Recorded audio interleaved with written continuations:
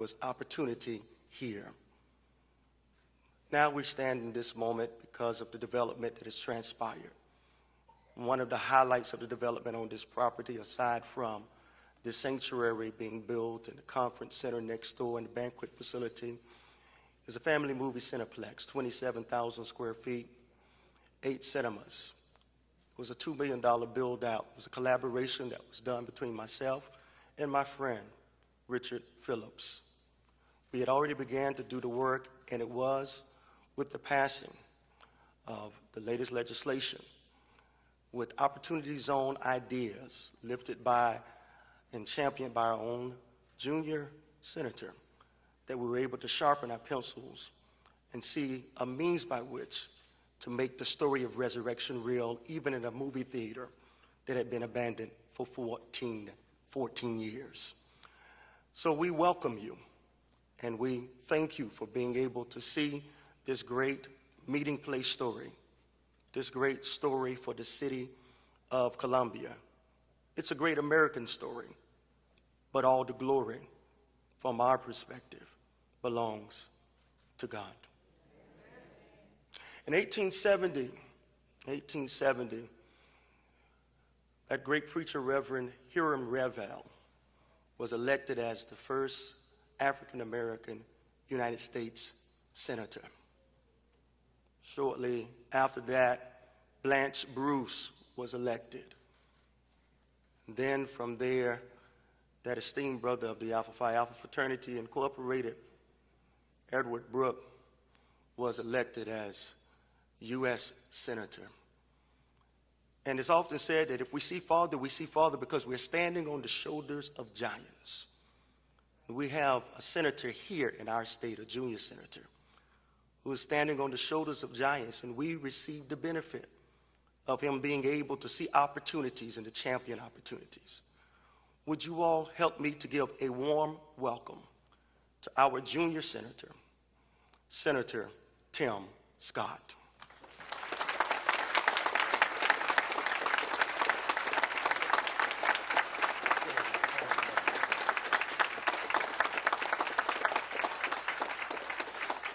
Well, good afternoon. Thank you very much. Good afternoon. How's everyone doing out there? Okay, you guys look good. You look good. Particularly you, but you look really good over there. Yeah. Leslie Richardson, God bless you.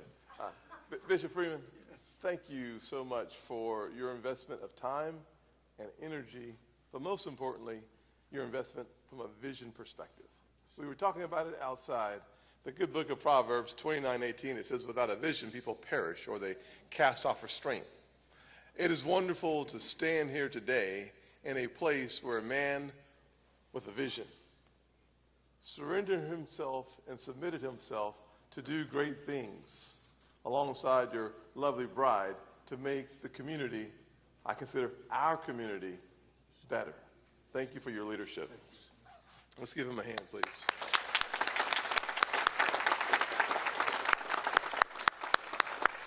Uh, so, so often we have a chance to say uh, a lot about the progress and success of our nation. You look around and you look at the unemployment rate, we're at a historic low. You talk about the economic investment, we're at a historic high. But there uh, is places in our nation where the recovery has been uneven, where folks have felt left behind. And one of the reasons why I designed the Opportunity Zone legislation in the fashion that I did was to look back into those areas who really needed hope, who, who needed help, and who had amazing potential. But the opportunities were not landing close enough to those communities. And so, for me, the why behind the opportunity zones is more important than the what. Uh, to get to where we want to go in life, sometimes we have to spend a few minutes taking a step back so that we can appreciate the why that motivates us to develop the legislation. And for me, as some have heard before, that the why for me is as a kid growing up in a single parent household, mired in poverty, stressed and distressed, uh, feeling hopeless and adrift I had the good fortune of meeting a small business owner who taught me that all things were possible. And for me, those lessons started at a movie theater. And so, Bishop Freeman, as you have partnered with Mr. Phillips to open a movie theater, it's just a warm place in my heart for that place where my life started to change because a small business owner who had a little margin in his paycheck and a little margin in his schedule started investing in a little kid like me at 15 years old. And, and thank God he came along. Now, I had a praying mama. Can we th- say thank God for some praying mamas out there? I had a praying mama who was working day and night. And, and uh, as uh, I've told the story several times before around South Carolina, I, I unfortunately uh, Mr. Vice President, if you can hear me back there, flunked out of high school. I apologize to her and to you, sir. And my mother was always the kind of woman who wanted me to shoot for the stars, and if you miss, you'll be a you know, shoot for the moon, and if you miss, you'll be among the stars. Well, the, the, the year I failed out of high school, she took me outside and introduced me to a new form of encouragement. She, she, she showed me a tree. Now, for those of you uh, unfamiliar with the psychology of a switch, I found it that day. And, and soon thereafter, she taught me uh, the power of motivation through the power, Mark, of a switch. I know that my friends in the audience, like Mark, may not be familiar with a switch because they're really good students, but a switch is a southern apparatus of encouragement.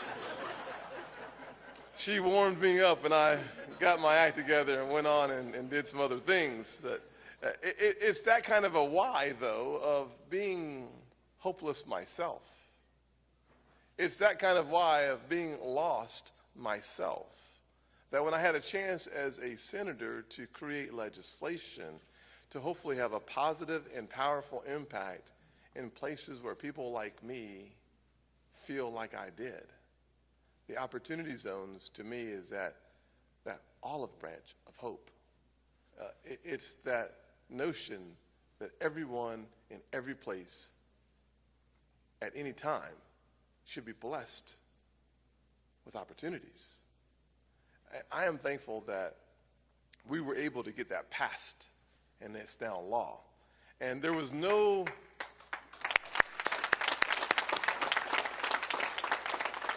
there was no bigger champion for the Opportunity Zone legislation than my good friend, uh, our nation's Vice President, Mike Pence. Uh, I will tell you that I, I, first met the vice president before he was a vice president. I met the vice president before he was a governor. I met the vice president early on in his congressional career before I ever made my way to Washington. And the thing I enjoy the most about the vice president is he serves our nation well, but he, he does it as a man of faith. He does it as a, a man with vision. He does it in such a way that we can all be proud of the efforts of our vice president. And I am so thankful to be able to introduce to you uh, a man who needs no introduction but deserves one, and I'm going to give you a short one. When you're a freshman member of Congress and you're trying to find a bathroom, me, and you run into someone who's willing to help you understand the ropes in Washington, but also understands and appreciates doing it with integrity and with character and with competence, and he becomes your friend, and then he rises to the level of being vice president, but he still remembers where he's from, who he loves, and why he serves, we are blessed.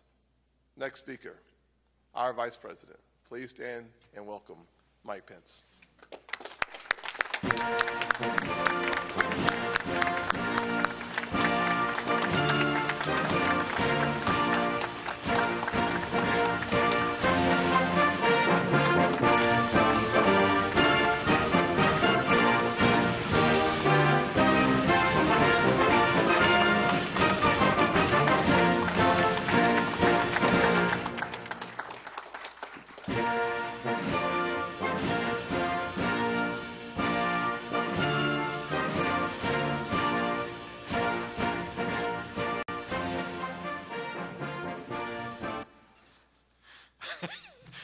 Record must have skipped. thank you all. Thank you for the warm welcome. Please be seated. It is a real joy to be with each and every one of you. Uh, and uh, to Bishop Freeman and uh, all of the wonderful people at the meeting place. church. He told me 19 years ago he had a Bible and a bar stool and three people, and now you are transforming this community for your members and for everyone in Southeast Columbia. Thank you. Thank you so much. Thank you. We're just so inspired by the example of the Meeting Place Church, and uh, and I uh, want to thank you all for coming out today. Thanks for coming out and and uh, and helping us all collectively celebrate um, uh, what Columbia and what South Carolina are doing in partnership with local businesses, in partnership with this great ministry, and in partnership with leaders at the state and local level. It's truly inspiring. And I'm here with some of my favorite people.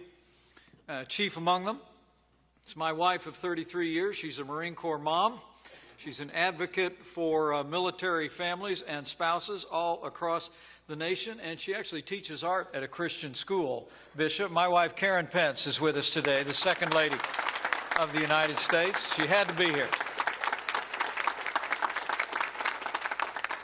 And it's also a real joy. I, I, think you can probably tell from the way we talk about each other uh, uh, the, the bond that I have come to share uh, with your senator. I first met him when he was a state legislator, and I had made my way down to South Carolina. Uh, I sensed his quality, I sensed his integrity and his faith from the first time that we spoke. Little did I know that we would serve together in the United States House of Representatives. And, and uh, you can imagine uh, how inspired I was to see him take his role and be re-elected as the junior senator for the great state of South Carolina. Would you stand up and join me in thanking Senator Tim Scott for his presence and his great leadership?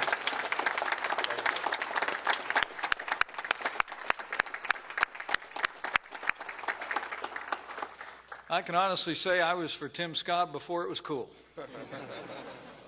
and I hope you people in South Carolina know that uh, his leadership inspires not only people all across this state, not only in Washington, D.C., but all across the nation. And uh, we're all grateful uh, for your support for him. And as I get started today, speaking of friends of mine, let me bring greetings from another friend of mine. Uh, Senator and I spoke to him on the way here, and he was excited to hear that we were coming to see one of the opportunity zones that he signed into law become a reality. I bring a, greetings from a great champion of opportunity for every American, the 45th President of the United States of America, President Donald Trump.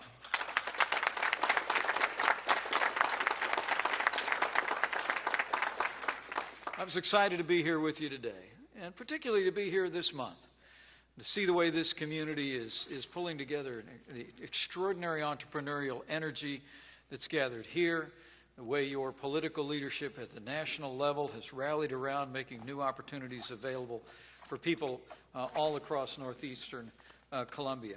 Uh, and it's also meaningful to be here uh, in this community, particularly since it's Black History Month. It's a month each and every year where Americans pause to celebrate the extraordinary accomplishments and contributions of African Americans to the life of this nation, from business to the arts to sciences politics to armed forces to law enforcement, every field of endeavor. As President Trump said in issuing his proclamation this year, and I quote, the examples of heroism, patriotism, and enterprise of African Americans throughout our history have given people of all backgrounds courage, confidence, and faith to pursue their dreams. And we celebrate Black History Month with all of you.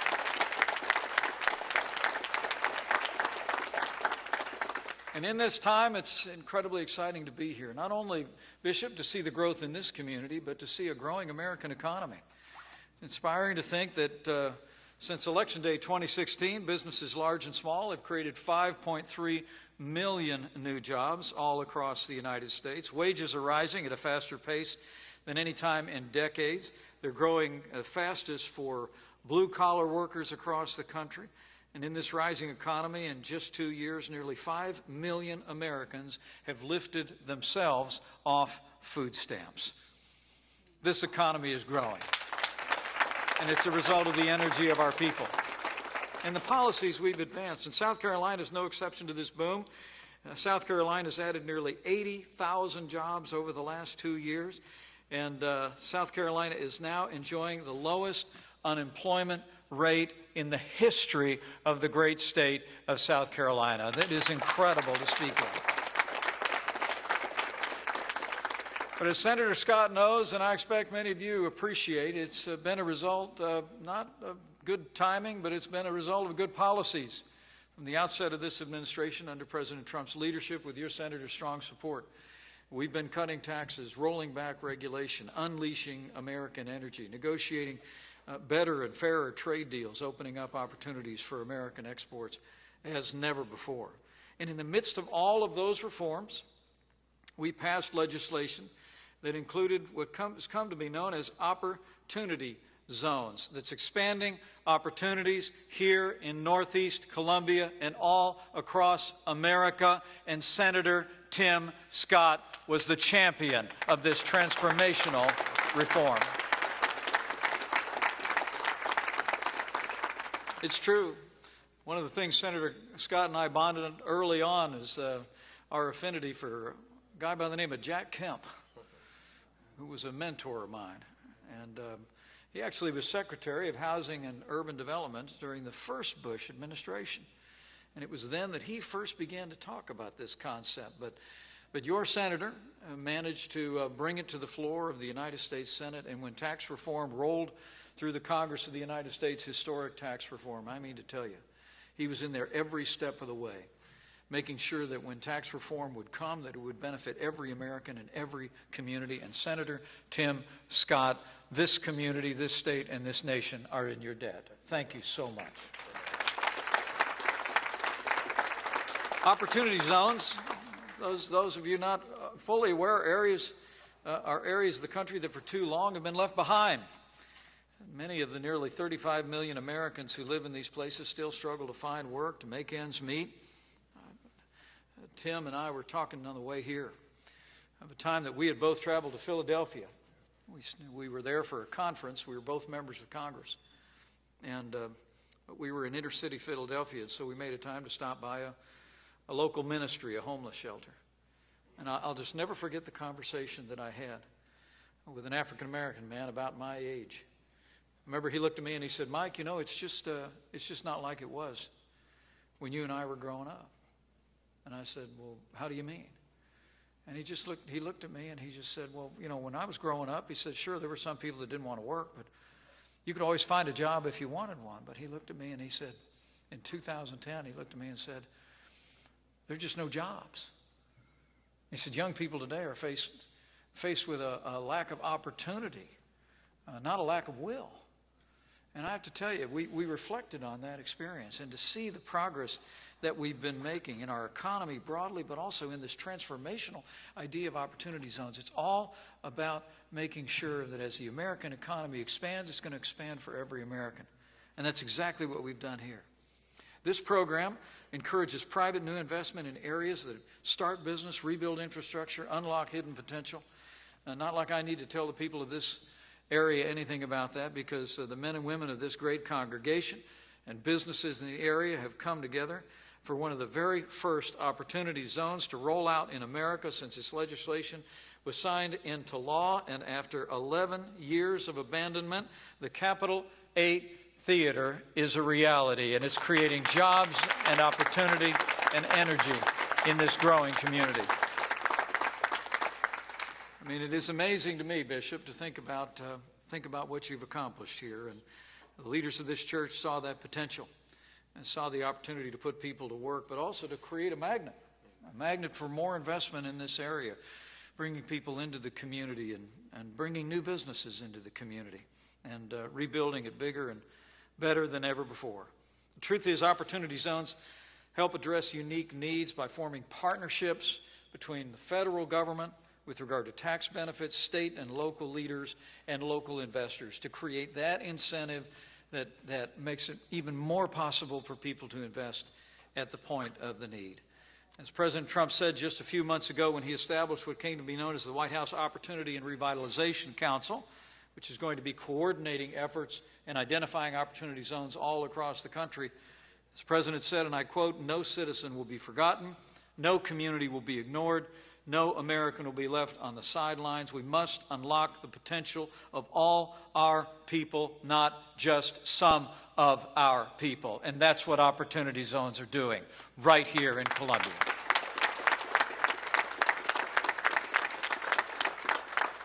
The generosity and the dedication, the ingenuity, the entrepreneurial spirit, not only of Bishop Freeman and this great congregation, but of the businesses that are represented here, is truly inspiring. You know, one of my wife Karen's favorite verses is that, uh, that verse that, that speaks about how the Lord says he, he waits in heaven ready to pour out blessings, to pour out blessings on his people until you won't have room enough to take it all in. And I truly do believe, looking at what's happening here, looking at this spec- spectacular facility and the banquet facility and, and the theaters that have come together, and looking at the businesses that are coming back to this region, that those blessings have just begun. Just begun for Northeast Columbia. And the truth is, after, after years of, uh, of a neighborhood that's been struggling, and because of the vision that Senator Scott brought here, because of the ingenuity and determination of this great community, you're all coming back. But I know there's one other reason, and that I leave here with a tremendous amount of confidence and enthusiasm about what I've seen, and that's it's because not only do you have the, uh, the business acumen to, to bring this region of Northeast Columbia back, not only do you have public officials that understand how to create incentives that will create jobs and opportunities for every American in every community, not only do you have the strong public support, but also it's evident to me everywhere I've gone since I arrived here at this place is, is the faith of the people of this community. Um, it radiates from everybody I've spoken to, and it's deeply inspiring. And the truth is, you know, unless the Lord builds the house, the builders labor in vain. and I know that you all are building on a foundation of faith here. And it's on that foundation that throughout our nation's history, it's always been on that solid foundation that we've been able to bring people together, to bring people together around the point of the need, uh, to ensure that opportunities and blessings reach everyone in our community. And so I want to thank you for your inspiring example. Uh, Bishop Freeman, I want to thank you for your warm hospitality today and, and for the inspirational example of the Meeting Place Church. Senator Scott, I want to thank you for your tenacious advocacy of opportunity zones as we debated tax reform just a few years ago. And uh, lastly, I just want to thank all of you uh, here across the Columbia community and across South Carolina who are gathered here to really celebrate what is uh, uh, great, great progress, but I think it's just the beginning. So I really do believe with the strong leadership of President Trump, Senator Scott, your other representatives in both parties in Washington, D.C., championing policies that create opportunities for all with your strong state and local leadership, with this great business community with such large hearts and generous spirits, and with a community of faith, and with God's help. The best days for Northeast Columbia, for South Carolina, and America are yet to come, and there'll be days of opportunity for all. Thank you very much. God bless you, and God bless America.